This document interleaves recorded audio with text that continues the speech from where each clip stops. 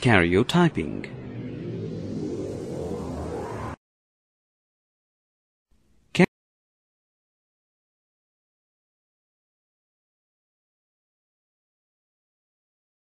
Karyotyping is one of the techniques that allow us to diagnose several thousand possible genetic diseases in humans. Karyotyping refers to the use of a microscope to examine the size, shape and number of chromosomes in a sample of body cells.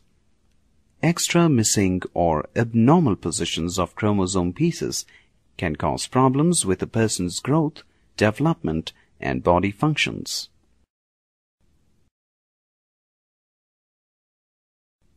What is a karyotype?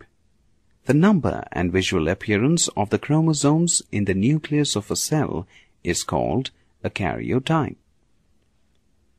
With reference to normal human beings, it is a picture of the 23 pairs of chromosomes arranged in a specific order from the largest to the smallest. Remember that one chromosome of each pair comes from the mother and the other from the father.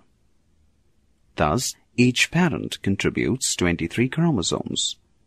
Shown here is a full set of chromosomes, a karyotype.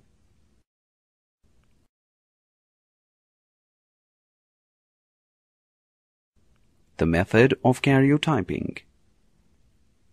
This method involves the extraction of chromosomes usually from a sample of blood, amniotic fluid, or tissues.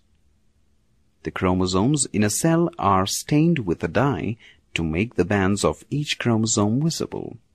Banding helps show differences in structure among the chromosomes and helps arrange them into pairs. The chromosomes are then photographed through a microscope. This information is entered into a computer that displays a picture or a karyotype of the chromosomes arranged in a specific order from the largest to the smallest. The picture of all the chromosomes is enlarged and studied for specific chromosome abnormalities. It is important to note that most cells in the body have identical chromosomal pairs. Karyotyping can be done on outermost cells in the body, but usually it is done on white blood cells, lymphocytes.